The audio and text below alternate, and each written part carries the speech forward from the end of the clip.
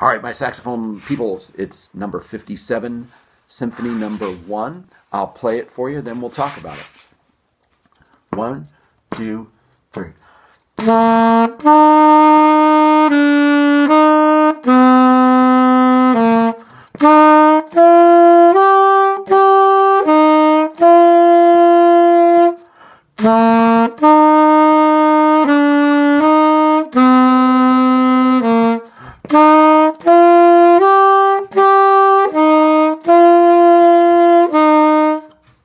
Okay, so now this one has a lot going on. It's pretty cool, but we can figure it out. All right, so to start with, notice that note that's all by itself at the beginning. Now, how many beats are supposed to be in a measure in this song? We look at our key, our time signature, and we notice that it says 4 4. So that tells us how many beats per measure? If you said 4, you're correct. And the bottom number, the 4, tells us what kind of note gets one beat.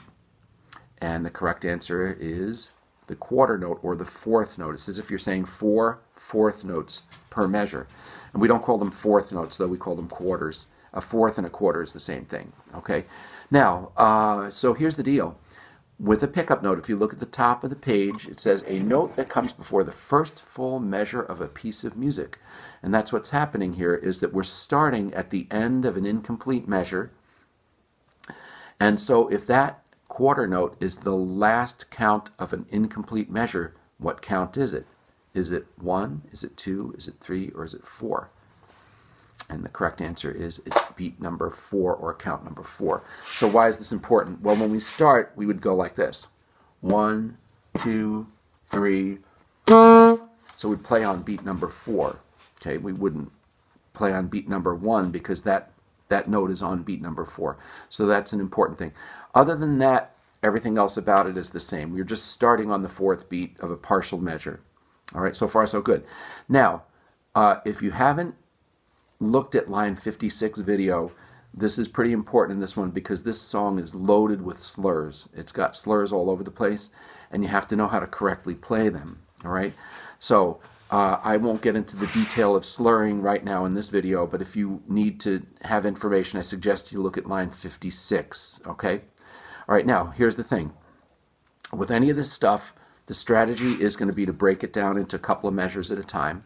So we're going to do the pickup note in the first two measures, and the first step is to just say the tas while tapping your foot. So let's try that together.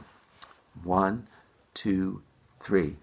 Ta, ta, ta, ta, ta, ta, ta.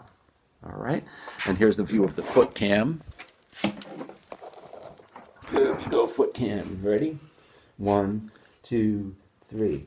Ta, ta, ta, ta, ta, ta, ta. All right?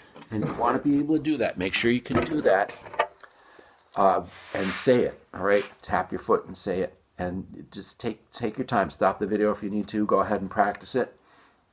And then come back. All right, so now after you've got that down, the next step is to play it on one note. You can pick any note you want. I'm going to do a C for right now, just for fun. All right, I'm going to play what I just said on my saxophone using a C. One, two, three.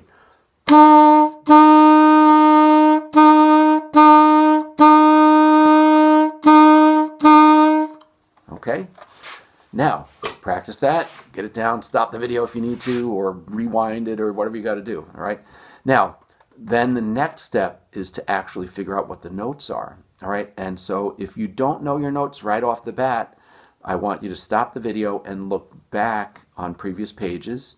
Okay, all of our notes are found either on page 11, 10, 8, or 6, going backwards. All right, so if you need to look them up, stop and then come back. All right, so then what we'd do is we'd say, all right, one, two, three, G, C, B, C, A, G, C. All right?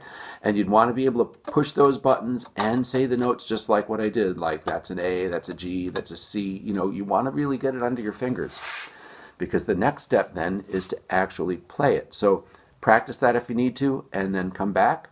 All right, and here we are. Now we're going to play the first couple of measures, including the pickup note, but we're not going to slur yet. Okay, one, two, three.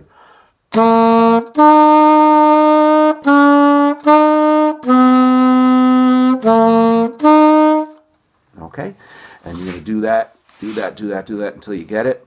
Again, by the way, sometimes this doesn't always happen on the first day. All right, so don't sweat it if it doesn't happen on the first day. Just keep practicing it. Remember, practice every day as best as you can. All right.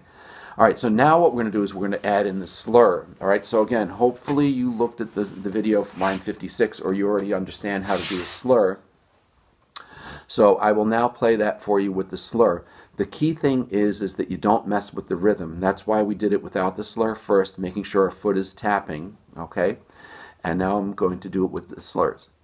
One, two, three.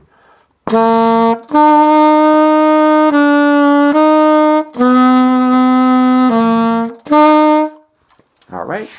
And I'm going to let you figure out the rest on your own. Go two measures at a clip. Have fun. You should be able to do this. Just keep at it, okay? Bye.